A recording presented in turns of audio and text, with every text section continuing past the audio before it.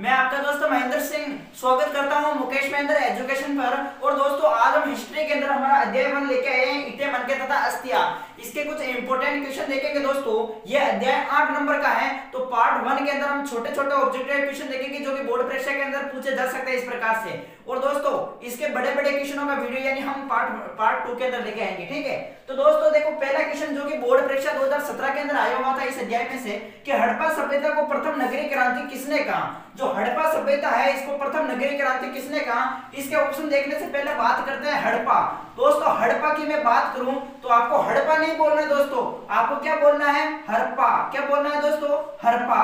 हे से हड़प्पा, रे से राय बहादुर दयाराम सानी। राय बहादुर दयाराम साहनी ने दोस्तों किसकी खोज की थी? हड़प्पा सभ्यता की खोज की थी। राय बहादुर दयाराम साहनी राय बहादुर दयाराम साहनी ने किसकी खोज की थी दोस्तों? हड़प्पा सभ्यता की खोज की। रे से आपको ध्यान रखना, रावी नदी के किनारे स्थित है हड़प्पा सभ्यता। राय बहादुर दयाराम साने ने हड़पा सभ्यता की खोज कब करी दोस्तों? 1921 में करी थी। ये आपको ध्यान रखना है। अब इसमें पूछा गया हड़पा सभ्यता को प्रथम नगरीय क्रांति किसने कहा? दोस्तों, नगरीय क्रांति किसने कहा? तो अमलानंद घोष दयाराम साहनी, जॉन मार्शल और गार्डन चाइल्ड। तो दोस्तों, हमारा जो राइट आंसर हो जाएगा, वो हो जाएगा गार्डन चाइल्ड। गार्डन चाइल्ड ने क्या किया? हड़प्पा सभ्यता को प्रथम नगरीय क्रांति कहा था? ठीक है? गार्डन चाइल्ड ने हड़प्पा सभ्यता को नगरीय क्रांति कहा था? ये आपको ध्यान रखना है। तो अमलानंद घोष कौन है भाई? अमलानंद घोष, ध्यान रखना। ये वही व्यक्ति है दोस्तों, जिन्होंने उन्नीस सौ बावन में, ठीक है? जिन्होंने उन्नीस सौ बावन में किसकी खोज करी थी? कालीबंगा सभ्यता की खोज करी थी। कालीबंगा सभ्यता की खोज किसने करी थी बताओ दोस्तों? अमलानंद घोष ने। अमलानंद घोष को कहना यो कि खोज तो मैं कर दे मुझे पता है कि यहाँ सभ्यता ज़रूर है कालीबंगा लेकिन अब मैं तगारी पावड़ी लेके किसको यानी काम पर लगाऊँ? किसको काम पर लगाऊँ? तो दोस्तों, दो व्यक्तियों को काम पर लगाए। ठीक है? कब लगाए दोस्तों? 1960 से उनसत्तर में। उत्खनन कार्य करवाया था दो व्यक्तियों से। एक का नाम है ब्रजवासी लाल एक का नाम है ब्रजवासी लाल और दूसरे का नाम है बीके थपड़ दोस्तों, क्या है दोस्तों? बीके थपड़ जिन्होंने कट पापो काट दिया यानी सभ्यता ने खोद निकाली दोस्तों। ठीक है? ध्यान रखना कि कालीबंगा सभ्यता की खोज उन्नीस में किसने करी थी? अमलानंद घोष ने करी थी। अमलानंद घोष ने तो खोज करी थी, लेकिन तगारी पावड़िया लेके किसको काम पर काम करवाया? ब्रजवासी लाल और बीके थापड़ को 1960 से उनसत्तर में इन्होंने क्या किया दोस्तों? उत्खनन किया। अब दोस्तों, ये इन्होंने उत्खनन कार्य किया तो बताओ दोस्तों, जानकारी किसने दी थी? सर्वप्रथम कालीबंगा सभ्यता की। तो सर्वप्रथम जो जानकारी दी, वो दी थी दोस्तों, ध्यान रखना एलपी टेसिटोरी ने। ठीक है एलपी टेसिटोरी। एलपी टेसिटोरी ने यानी कालीबंगा सभ्यता की क्या है कि सर्वप्रथम जानकारी दी। मतलब कि ब्रजवासी लाल और बीके थापड़ दोनों तगारी पावड़ी लेकर काम कर रहे थे तो ये एलपी टेसिटोरी कहते हैं कि मैंने देखा इन दोनों को तगारी पावड़ी लेकर काम करते हुए। ठीक है? तो एलपी टेसिटोरी यानी कहता है कि ब्रजवासी लाल और बीके थापड़ उत्खनन कार्य करते हुए मैंने देखा। यानी सर्वप्रथम जानकारी किसने दी? कालीबंगा सभ्यता की तो एलपी टेसिटोरी ने यह आपको ध्यान होना चाहिए दोस्तों। हाँ आगे बात करते हैं दयाराम सानी तो आपको मालूम होगा कि 1921 में हड़प्पा सभ्यता की खोज करी थी।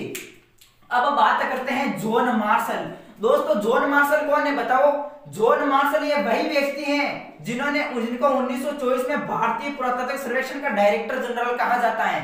1924 के भारतीय पुरातात्विक सर्वेक्षण के डायरेक्टर जनरल किसे कहा जाता है दोस्तों? भारतीय पुरातात्विक सर्वेक्षण के डायरेक्टर जनरल। भारतीय पुरातात्विक सर्वेक्षण के डायरेक्टर जनरल कहा जाता है किसको दोस्तों? जॉन मार्शल को 1924 के। तो बताओ उन्नीस में किसे कहा जाता है दोस्तों? उन्नीस में भारतीय पुरातात्विक सर्वेक्षण के डायरेक्टर जनरल किसे कहा जाता है? आर ई एम वेलर को। किसे कहा जाता है दोस्तों? आर ई एम वेलर को। आर ई एम वेलर को भारतीय पुरातात्विक सर्वेक्षण का डायरेक्टर जनरल कहा जाता है उन्नीस के अंदर बात हो रही है। ठीक है? और दोस्तों, आर ई एम वेलर ये वही व्यक्ति हैं दोस्तों। जिन्होंने क्या किया था? जिनकी पुस्तक का नाम my archaeological mission to India and Pakistan दोस्तों आर ई एम वेलर की उन्नीस के, ठीक है, उन्नीस में उधर एक पुस्तक है my archaeological mission to India and Pakistan ये इन्हीं की पुस्तक थी आर्य बिल्डर की। बात करते हैं दोस्तों, ये 1924 1976 अब यहाँ पर पूछा जाता है कि पुरातत्व के जनक किसे कहा जाता है? पुरातत्व के जनक। तो पुरातत्व के जो जनक है दोस्तों, किसे कहा जाता है? अलेक्जेंडर कनिंगम को। अलेक्जेंडर अलेक्जेंडर कनिंगम को, ठीक है? अलेक्जेंडर कनिंगम को भारतीय पुरातत्व का जनक कहा जाता है। ये आपको ध्यान रखना है। कब दोस्तों? अठारह को, ठीक है? भारतीय पुरातत्व संरक्षण विभाग के पहले जनरल कौन थे? भारतीय पुरातत्व विभाग के पहले जनरल थे अलेक्जेंडर कनिंगम। ये हमारा आंसर होगा दोस्तों, अठारह की बात हो रही है। अब देखो, गार्डन चाइल्ड। जब इन्होंने हड़प्पा सभ्यता को प्रथम नगर क्रांति कहा तो दिल गार्डन गार्डन हो गया। क्या हो गया? दिल गार्डन गार्डन। यानी Gordon Childe. Gordon Childe Harappa सभ्यता को प्रथम नगरीय क्रांति कहा था? तो इससे रिलेटेड क्वेश्चन ये आप नोट कर सकते हैं दोस्तों। अच्छी तरीके से नोट कर लीजिए। बोर्ड एग्ज़ाम में एक नंबर वाला क्वेश्चन ज़रूर आएगा। तो पहले इनको हमारा क्वेश्चन है कि सिंधु घाटी सभ्यता का कौन सा नाम प्रचलित नहीं है दोस्तों? यानी सिंधु घाटी सभ्यता का इनमें से कौन सा नाम जो है वो प्रचलित नहीं है? अभी इसका आंसर आपको बताना है। तो सिंधु घाटी सभ्यता का कौन सा नाम प्रचलित नहीं है? क्या आदि ऐतिहासिक सभ्यता, या फिर काशी युगीन सभ्यता, या ताम्रपाषाण सभ्यता, या सिंधु सरस्वती सभ्यता? हम जानते हैं दोस्तों, सिंधु घाटी सभ्यता को दोस्तों आदि आदि ऐतिहासिक सभ्यता कहा जाता है। क्योंकि आदि ऐतिहासिक का मतलब इसका मतलब है यहाँ की जो अवशेष है दोस्तों, अवशेष तो मिले लेकिन हमको इनको पढ़ नहीं पाए ठीक है? पढ़ नहीं पाए यानी अवशेष तो मिले, लेकिन अभिलेख जो है ना अभिलेख, वो तो मिले, लेकिन अक्षरों को पहचान नहीं पाए कि क्या लिखा हुआ है। ठीक है? तो आदि ऐतिहासिक का मतलब समझ गए होंगे। यानी आदि ऐतिहासिक सभ्यता कहा जाता है? सिंधु घाटी सभ्यता को। और काशी युगीन सभ्यता, दोस्तों हाँ बिल्कुल सही बात है। जो सिंधु सरस्वती सभ्यता सिंधु घाटी सभ्यता भी, सिंधु सरस्वती सभ्यता भी से कहा जाता है? और काशी युगीन सभ्यता भी से कहा जाता है? ध्यान रखना काशी युद्ध सभ्यता में यानी कंस के अवशेष मिले। क्या मिले दोस्तों? कंसा। और धन धर्मों की वजह से कंस क्यों क्यों बन रहे हैं? तांबा प्लस तीन क्यों दोस्तों? तांबा प्लस तीन और दोस्तों, यानी सबसे पहले खोजी गई धातु कौन सी है? तो सबसे पहले खोजी गई धातु दोस्तों तांबा है। कौन सी है दोस्तों? तांबा। अब बात करते हैं तो देखो ताम्र पाषाण सभ्यता, सिंधु घाटी सभ्यता को नहीं जाना जाता है। इसका मतलब हमारा आंसर राइट कौन सा हो जाएगा? ऑप्शन नंबर स। कि सिंधु घाटी सभ्यता का कौन सा नाम प्रचलित नहीं है तो ताम्र पाषाण सभ्यता। देखो दोस्तों ताम्र पाषाण सभ्यता को हम देखो, ताम्रवती नगरी के नाम से पीछे जाना जाता है। ताम्रवती सभ्यता, ठीक है, ताम्रवती सभ्यता, या फिर ताम्र युगीन सभ्यता के नाम से भी इसे जाना जाता है। ताम्र युगीन सभ्यता के नाम से भी इसे जाना जाता है। और दोस्तों, बताओ आपकी तम इसे आहार सभ्यता के नाम से भी जाना जाता है। जो ताम्र पाषाण सभ्यता है, इसे आहार सभ्यता के नाम से भी जाना जाता है। ताम्र युगीन सभ्यता की जननी किसे कहा जाता है, बताओ दोस्तों। ताम्र युगीन सभ्यता की जननी। ताम्रयुगीन सभ्यता की दोस्तों बताओ कि जननी किसे कहा जाता है? तो ताम्रयुगीन सभ्यता की जननी किसे कहा जाता है दोस्तों? गणेश्वर सभ्यता को। क्या किसे कहा जाता है दोस्तों? गणेश्वर सभ्यता को। और ये गणेश्वर सभ्यता राजस्थान के सिकर ज़िले में है दोस्तों। ठीक है? और दोस्तों, देखो, पाषाणकालीन सभ्यता किसे कहा जाता है? पाषाणकालीन सभ्यता बताइए। पाषाणकालीन सभ्यता। देखो दोस्तों, पाषाणकालीन सभ्यता यानी बागोर सभ्यता को कहा जाता है, पाषाणकालीन सभ्यता। किस सभ्यता को, बागोर सभ्यता को। बागोर सभ्यता कहता है भाई, राजस्थान के मायने है ठीक है? पाषाणकालीन सभ्यता किसे पाषाणकालीन सभ्यता किसे कहा जाता है? प्रश्न ऐसे आ जाए तो बागोर सभ्यता को कहा जाता है। अब यहाँ पर प्रश्न पूछ लीजिए कि सिंधु सरस्वती सभ्यता भी किसे कहा जाता है? जो सिंधु घाटी सभ्यता, इसे सिंधु सरस्वती सभ्यता भी कहा जाता है। और भी आपको ध्यान रखना कि इस सिंधु घाटी सभ्यता को हम नगरीय सभ्यता भी कह सकते हैं। नगरीय सभ्यता भी से कहा जाता है। तो यानी ये क्वेश्चन आपको नोट करने, दोस्तों बोर्ड परीक्षा के अंदर पूछा जा सकता है कि सिंधु घाटी सभ्यता का कौन सा नाम प्रचलित नहीं है। तो ताम्र पाषाण सभ्यता, यानी ये हमारा आंसर हो जाएगा, ठीक है? ध्यान रखना, दोस्तों। ये से नोट कर सकते हैं। एक पूछ जाती है लोहे युगीन सभ्यता। लोहे युगीन सभ्यता, दोस्तों लोहे युगीन जो सभ्यता है, ये वैदिक सभ्यता को कहा जाता है वैदिक सभ्यता, ठीक है? लोहे युगीन सभ्यता अगर आंसर दिया होगा तो लोहे युगीन सभ्यता, यानी वैदिक सभ्यता को कहा जाता है, ठीक है? तो ये क्वेश्चन आंसर क्वेश्चन दे रखा है कि सिंधु सभ्यता के खोजे के स्थलों को उसकी स्थिति से मिलान कीजिए। इंपॉर्टेंट क्वेश्चन है दोस्तों, जैसे दे रखा है मांडा दाइमाबाद आलमगीरपुर, सुतका, गेंडोर। ये भारत के यानी दक्षिण में पड़ता है, पश्चिम में पड़ता है, उत्तर में पड़ता है, पूर्व में पड़ता है, ये आपको बताना है दोस्तों। यानी आपको मिलान करना है। तो सबसे पहले आपको कुछ नहीं करना दोस्तों, ऐसा बनाना है। कैसा? ऐसा। सबसे पहले उत्तर में देखो तो उत्तर में क्या है दोस्तों? मांदा। ठीक है? उत्तर में मांदा, इधर दक्षिण में क्या है? दक्षिण में दोस्तों गोदावरी नदी के किनारे आलमगीरपुर। ठीक है? आलमगीरपुर। आलमगीरपुर जो कि उत्तर प्रदेश के अंदर मिला था। इसी प्रकार यहाँ पर सुतका गेंडोर है, सुतका गेंडोर है, जो कि पश्चिम के अंदर, पूर्व के अंदर बात करें तो पूर्व के अंदर देखो, दाइमाबाद तो महाराष्ट्र के अंदर है, ठीक है, दाइमाबाद। दाइमाबाद जो कि महाराष्ट्र के अंदर है और आलमगीरपुर उत्तर प्रदेश के अंदर है, आलमगीरपुर। अब दोस्तों बताओ, ये तो हो गया उत्तर, ये हो गया दक्षिण, और ये हो गया पूर्व, और ये हो गया पश्चिम। तो बताओ दोस्तों, मांदा जो है मांडा या फिर मांदा भी लिखा मिलता है तो मांदा बताओ, मांदा देखो उत्तर में है। कहा है दोस्तों? उत्तर में तो इसका मतलब ये हमारा राइट हो जाएगा। दाइमाबाद बताओ। दाइमाबाद जो है वो दक्षिण में है। तो दाइमाबाद हमारे दक्षिण में तो इसका मतलब ये हो जाएगा राइट आलमगीरपुर देखो तो आलमगीरपुर पूर्व में है तो आलमगीरपुर ये हो जाएगा पूर्व। और सुदका केंद्र पश्चिम में है तो ये हो जाएगा। दोस्तों, बताओ, ऐसा ही क्वेश्चन आएगा बोर्ड परीक्षा के अंदर। पक्का याद कर लेना। चौथा क्वेश्चन दे रखा कि सिंधु सभ्यता का कौन सा स्थल हरियाणा में नहीं है, दोस्तों, मैंने प्रमुख करवा रखे हैं। जैसे राजस्थान से कौन सा सभ्यता स्थल है? और हरियाणा से कौन सा, गुजरात से कौन था, पाकिस्तान से, अफ़गानिस्तान से, सब मैंने करवा दिए हैं। अगर आप हमारे साथ जुड़े हुए तो पहले नोट करना होगा वीडियो देखना होगा दोस्तों। बताओ दोस्तों, सिंधु सभ्यता का कौन सा स्थल हरियाणा में नहीं है? तो बताओ, बनावली तो हरियाणा में है मितादल भी हरियाणा में है रातीगढ़ी भी हरियाणा में है, लेकिन कालीबंगा दोस्तों, आपको मालूम होगा कि यह राजस्थान के हनुमानगढ़ ज़िले में है। है कहीं है ना दोस्तों? तो हमारी बात सुनो। देखो कालीबंगा सभ्यता के विस्तार से आपको बता देता हूँ कालीबंगा इंपॉर्टेंट है दोस्तों कालीबंगा तो गारंटी की बात है दोस्तों, अब की बार आ सकता है। कालीबंगा जो सभ्यता है, ये किस भाषा का शब्द है? कालीबंगा किस भाषा का शब्द है? कालीबंगा सिंधी भाषा का शब्द है। और सिंधी भाषा का शब्द है जिसको अर्थ कह रहे हैं जिसको अर्थ रहे काले रंग की चूड़िया, काले काले चूड़िया। ठीक है, काले रंग की क्या है दोस्तों? चूड़िया। ये कालीबंगा सभ्यता का अर्थ होता है।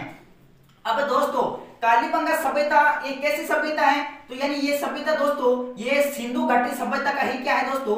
सभ्यता स्थल है। ठीक है, सिंधु घाटी सभ्यता का ही सभ्यता स्थल है और कालीबंगा सभ्यता एक नगरीय सभ्यता है।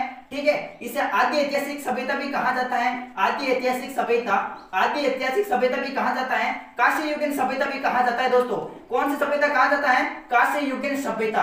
काशी युगीन सभ्यता भी कहा जाता है और ये कालीबंगा सभ्यता दोस्तों गगर गगर नदी। दोस्तों गगर नदी को प्राचीन नाम सरस्वती। सॉरी, सरस्वती नदी। ठीक है सरस्वती नदी के किनारे ये बसी हुई है और ये सभ्यता हनुमानगढ़ ज़िले में है और हनुमानगढ़ ज़िले राजस्थान में पड़े। राजस्थान के अंदर ये हनुमानगढ़ ज़िले में। ये आपको नोट करना है। कालीबंगा सभ्यता की मैं और बात बता देता हूँ दोस्तों। ठीक है? देखो कालीबंगा जो सभ्यता का जो कालक्रम है, वो सी चौदह कार्बन यानी कार्बन डेटिंग पद्धति के आधार पर इसकी जो सीमा है, वो तेईसो से, यानी तेईसो पचास से सत्रह सौ पचास से सत्रह सौ बीसी। ठीक है? ये इसका प्रमुख समय यानी काल माना जाता है। बात करते हैं कालीबंगा सभ्यता की तो कालीबंगा सभ्यता में देखो धन ध्यान रखना है, ये तरीकों में देखो ए। यानी सड़कें जो है समकोण पर काटती हैं, और यहाँ पर क्या हुआ, जूते हुए खेत के साक्ष्य मिले। जूते हुए खेत के साक्ष्य कहाँ से मिले? तो कालीबंगा से मिले थे। ध्यान रखना दोस्तों, यहाँ पर सड़कें समकोण पर काटती हैं और यहाँ पर कालीबंगा सभ्यता में जब यहाँ पर पता चला कि यहाँ पर जो मकान मिले दोस्तों, मकान मकान यानी यहाँ पर कच्ची ईटा भी ही और पक्की ईटा भी ही। यानी मकान कच्ची ईटों से भी बने हुए थे पक्की ईटों से बने हुए थे। जाके देखा तो दोस्तों, कच्ची ईटों भी यानी पक्की ईटों भी या तो इको मतलब कि वास्तव में जो बस्ती वो केड़ी ही? दिनहीन बस्ती ही। दिनहीन बस्ती को मतलब यानी गरीबों की बस्ती ही यहाँ पर, ठीक है? और दोस्तों, यहाँ पर जो ईटे मिली थी, वो कच्ची पक्की दोनों ही, इसके आधार पर पता लगेगा कि दिनहीन बस्ती यानी गरीबों की बस्ती है। और दोस्तों, यहाँ पर सर्वप्रथम भूकंप की जानकारी मिली, क्योंकि देखो, कालीबंगा सभ्यता में जो मकान मिला, वे में बड़ी बड़ी दीवार यानी दरारें पड़ी हुई थी। इसी वजह से यहाँ भूकंप की जानकारी मिली थी। और देखने पर पता चला तो यहाँ पर एक मूड यानी एक तरीके से फुटबॉल की तरह की मिली क्योंकि ओके है देखकर पता चल वास्तव में तो देखो, एक एक सिर था, एक खोपड़ी थी। खोपड़ी के मायने कितने छेद थे दोस्तों? छह छेद मिले थे छह छेद। ठीक है छह छेद हो रखे थे और यहाँ पर सात हवन कुंड मिले थे, सात हवन कुंड ध्यान रखना दोस्तों, कालीबंगा सभ्यता की खोज उन्नीस में घोष ने करी थी। और ध्यान रखना, उत्खनन कार्य किसने करवाया था? ब्रजवासी लाल बीके थापड़ दोनों ने उत्खनन कार्य किया था 1960 से उनसत्तर में। और सर्वप्रथम जानकारी दी थी एलपी टेशिटोरी ने। और ध्यान रखना दोस्तों, कालीबंगा सभ्यता से ही ऊँट पालने की जानकारी मिली थी। यही से लकड़ी की नालियाँ मिली थी। यही से विशाल ध्रुव के अवशेष मिले थे। इंपोर्टेंट है नोट करने होंगे दोस्तों आपको। देखो दोस्तों, यहाँ पर जो शव मिले थे, शव, उन शवों को दफना दिए जाते थे। इंपोर्टेंट बात है, आपको थोड़ी नोट करनी है कालीबंगा सभ्यता के बारे में। तो ये नोट कर लीजिए, फिर हम अगले क्वेश्चन पांचवा क्वेश्चन है कि स्वतंत्रता के बाद सिंधु घाटी सभ्यता का खोजा गया। प्रथम स्थल बताइए दोस्तों। देखो, स्वतंत्रता के बाद सिंधु घाटी सभ्यता का खोजा गया प्रथम स्थल बताना है दोस्तों। तो बताओ, हड़प्पा है, या फिर मोहनजोदड़ो है, या फिर कालीबंगा है, या है रोपड़ है? यहाँ पर बात हो रही है स्वतंत्रता के बाद। तो दोस्तों, इसका जो सही आंसर हो जाएगा, वो हो जाएगा रोपड़। स्वतंत्रता के बाद सिंधु घाटी सभ्यता का खोजा गया प्रथम स्थल कौन सा है? तो हो जाएगा रोपड़। अब मैं पूछता हूँ, दोस्तों, सिंधु घाटी सभ्यता का प्रथम स्थल कौन सा है? ठीक है, सबसे पहले खोजा गया स्थल कौन सा है? तो सिंधु घाटी सभ्यता का सबसे पहले खोजा गया स्थल था वो हड़प्पा था। यहाँ पर स्वतंत्रता के बाद पूछे तो रोपड़ हो जाएगा, और वैसे डायरेक्ट पूछे तो क्या हो जाएगा? रोपड़ आंसर हो जाएगा। सॉरी हड़प्पा हो जाएगा। और देखो, सबसे पहले खोजा गया स्थल कौन सा? सबसे पहले खोजा गया जो स्थल है वो था हड़प्पा। सबसे पहले खोजा गया स्थल तो था हड़प्पा। और सबसे अधिक प्रसिद्ध पूरा स्थल कौन सा है? सबसे अधिक प्रसिद्ध पूरा स्थल सबसे अधिक प्रसिद्ध पूरा स्थल कौन सा है दोस्तों? तो वो हो जाएगा मोहन जोदड़ो मोहन जोदड़ो जो है सबसे अधिक प्रसिद्ध पूरा स्थल है, ध्यान रखना। प्रसिद्ध है तो वो है मोहनजोदड़ो सबसे पहले खोजेगा स्थल हड़प्पा हो जाएगा। लेकिन स्वतंत्रता के बाद जो पूछे तो वो रोपड़ हो जाएगा, सिंधु घाटी सभ्यता का प्रथम स्थल, ठीक है? बात करते हैं हड़प्पा सिंधु घाटी सभ्यता की पहली राजधानी कौन सी है दोस्तों? सिंधु घाटी सभ्यता की प्रथम राजधानी है दोस्तों, प्रथम जो राजधानी है, वो हो जाएगी हड़प्पा सिंधु घाटी सभ्यता की प्रथम राजधानी कौन सी है दोस्तों? हड़प्पा बात करते हैं दूसरी राजधानी। बात करते हैं दूसरी राजधानी तो दूसरी राजधानी जो है, वो कौन सी है? मोहनजोदड़ो तीसरी राजधानी दोस्तों, सिंधु घाटी सभ्यता की कौन सी हो जाएगी? कालीबंगी। ठीक है, कालीबंगा। कालीबंगा जो है, ये सिंधु घाटी सभ्यता की तीसरी राजधानी है, ये आपको ध्यान रखना है। तो ये इंपॉर्टेंट क्वेश्चन है बोर्ड एग्ज़ाम में पक्का दोस्तों, यानी चकनाचूर करने वाला यानी एग्ज़ाम एग्जामिनियर दोस्तों, ऐसा क्वेश्चन देगा, जिससे हम यानी एक तरीके से हम कर भी नहीं पाएँगे। तो आपको इस तरीके से ध्यान रखना होगा आपको। सिंधु सभ्यता के लोग किस धातु से अपरिचित है? बताओ, सोना चांदी, लोहा, कांसा। तो बताओ, सोना से तो वे जानते थे, सोना को तो वे जानते, चांदी को भी जानते, कांसा को जानते, लेकिन लोहा से ये परिचित नहीं थे। यानी सिंधु सभ्यता के लोग किस धातु से अपरिचित थे? तो लोहा से। अगला सातवां question very very important board में छपने वाला क्वेश्चन है दोस्तों। अब तो छप ही गया होगा दोस्तों। ध्यान रखना है कि धोलावीरा का शाब्दिक अर्थ क्या है दोस्तों? ये तो इंपॉर्टेंट है। एक नंबर तो आपके पक्के हैं दोस्तों। इसे अच्छे से नोट कर लीजिए कि धोलावीरा का शाब्दिक अर्थ क्या है? तो धोलावीरा का शाब्दिक अर्थ है दोस्तों, सफ़ेद कुआ। क्या है दोस्तों? सफ़ेद कुआ। ये आपको ध्यान रखना है। इसी प्रकार पूछा जाता है कि कालीबंगा का शाब्दिक अर्थ क्या है? तो कालीबंगा का शाब्दिक अर्थ होता है काले रंग की चूड़िया। कालीबंगा का अभी अभी हमने देखा था कालीबंगा का शाब्दिक अर्थ होता है काले रंग की चूड़िया। और सफ़ेद कुआ, ये धोलावीरा का शाब्दिक अर्थ है। इंपॉर्टेंट क्वेश्चन है दोस्तों बोर्ड एग्ज़ाम में आ सकता है। मृतकों का टीला। मोहनजोदड़ो का शाब्दिक अर्थ होता है मृतकों का टीला। तो ये क्वेश्चन वेरी वेरी इंपॉर्टेंट है नोट करने होंगे आठवां क्वेश्चन है कि सिंधु सभ्यता का विस्तार किस देश में नहीं है? जो सिंधु सभ्यता जो है, जिन्हें हड़प्पा सभ्यता का नाम भी जानीजिए दोस्तों, इसका विस्तार जो है किस देश में नहीं है? तो बताओ, भारत में इसका विस्तार है कौन कोनी भारत में है आप अब से और पाकिस्तान में भी है, और अफ़गानिस्तान में भी है, और म्यांमार में कोनी दोस्तों? ये हमारा आंसर जो है, इसका हो जाएगा।